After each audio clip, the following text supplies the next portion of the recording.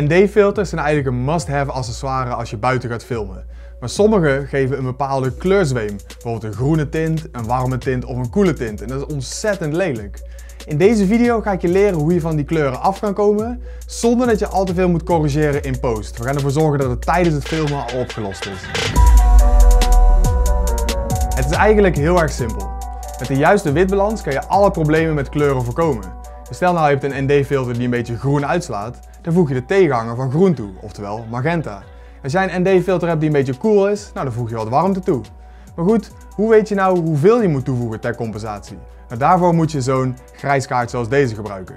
Je pakt je camera, je zet je ND-filter erop en je schiet een custom white balance op deze grijskaart. En dan heb je de perfecte witbalans bereikt met het ND-filter erop. Maar goed, wat dus zo lastig is in een run-and-gun situatie, is dat je niet elke keer de tijd hebt om een custom white balance te schieten. Dus daar heb ik de oplossing voor. Oké, we gaan dit doen in een ruimte waarin je het licht van buiten volledig kan blokkeren. Dus ik heb daar het raam dicht gedaan en het is nu volledig donker hier binnen. Behalve natuurlijk dat ik daar uh, mijn filmlamp aan heb staan.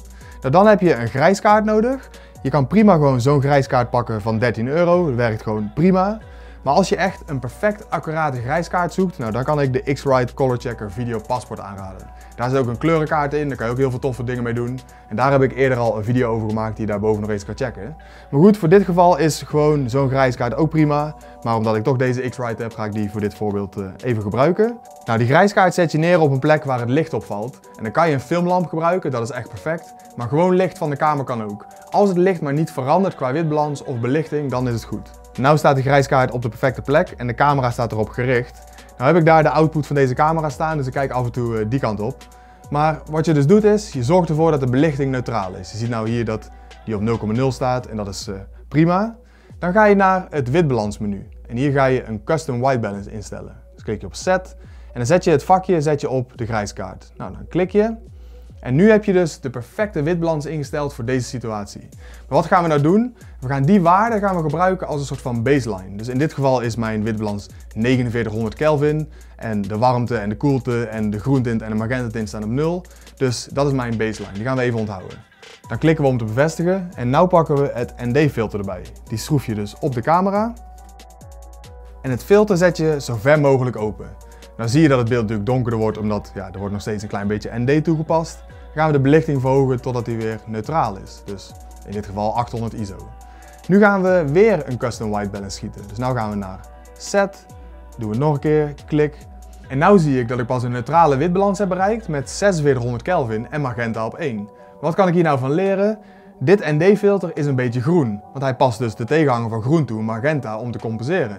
En hij verlaagt de Kelvin met 300, oftewel mijn ND-filter is een beetje warm. Hij past dus een lagere Kelvin toe om dat ook weer te neutraliseren. Dus deze informatie gaan we weer even onthouden.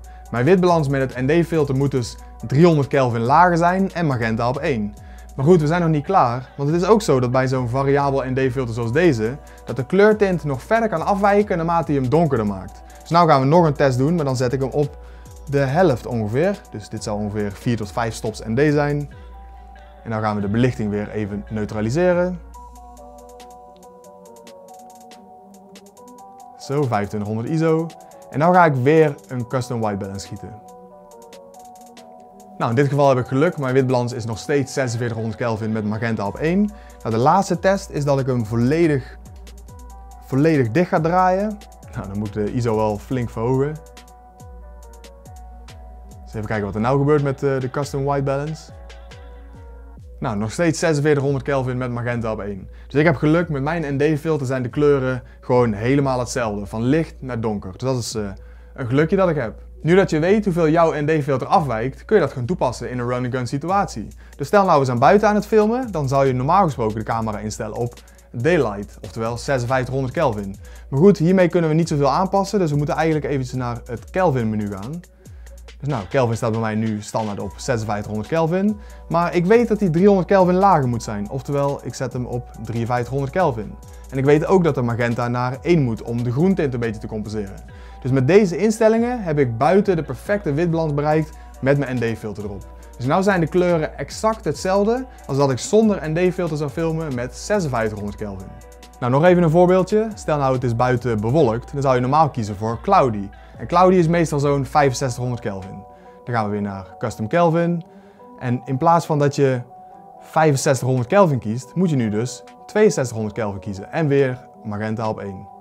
En dat zijn even twee voorbeelden, maar met deze kennis kun je dus in iedere run-and-gun situatie altijd de perfecte witbalans kiezen. Maar let wel even op, stel nou je maakt een shot zonder jouw ND-filter, stel nou je maakt een shot op f11 en de belichting is gewoon perfect zonder ND-filter, dan moet je wel even deze waarde terugzetten. Dan zet je weer magenta op 0 en dan zet je de Kelvin op 6500 Kelvin als het buiten cloudy is. Maar stel nou je past dat niet aan, dan wordt jouw beeld te cool en een beetje magenta, omdat dat de compensatie is van het ND-filter. Dus zorg ervoor dat je witbalans weer neutraliseert als je ND-filter eraf is. Kleurzwemen zijn nou eenmaal een nadeel van variabele ND-filters. En zelfs de allerduurste filters van bijvoorbeeld Peter McKinnon, die hebben ook problemen met kleurzwemen. Die neigt heel erg naar blauw. Maar goed, met mijn methode kun je alle soorten kleurzwemen van welk ND-filter dan ook gewoon perfect oplossen. Een groot voordeel van een variabel ND-filter is gewoon dat je in iedere situatie gewoon super snel eventjes jouw belichting kan aanpassen. Maar in een situatie dat ik aan het filmen ben en ik heb meer tijd om de belichting aan te passen, of als ik bijvoorbeeld fotografie aan het doen ben, dan pak ik graag mijn vaste ND-filters van Case. Deze hebben een vaste waarde en zijn veel kleurneutraler dan variabele ND-filters. Ik zal eventjes een voorbeeld laten zien. Ik pak eventjes mijn 3-stop ND-filter erbij van Case. Ik heb de magnetische ring hierop zitten. Nou, dan kan je makkelijk zo vloep, het ND-filter erop doen. En dan gaan we weer eh, de belichting neutraliseren. Gaan we weer een custom white balance schieten. En je ziet dat deze witbalans slechts 100 Kelvin afwijkt. En de groentint en magenta tint die wijken helemaal niet af. Dus deze zijn echt perfect kleurneutraal. Nou, dit is dus een 3-stop. Pak even de 6-stop erbij. Doen we weer de belichting verder verhogen. En deze is exact zo neutraal als de 3-stops ND-filter van Case.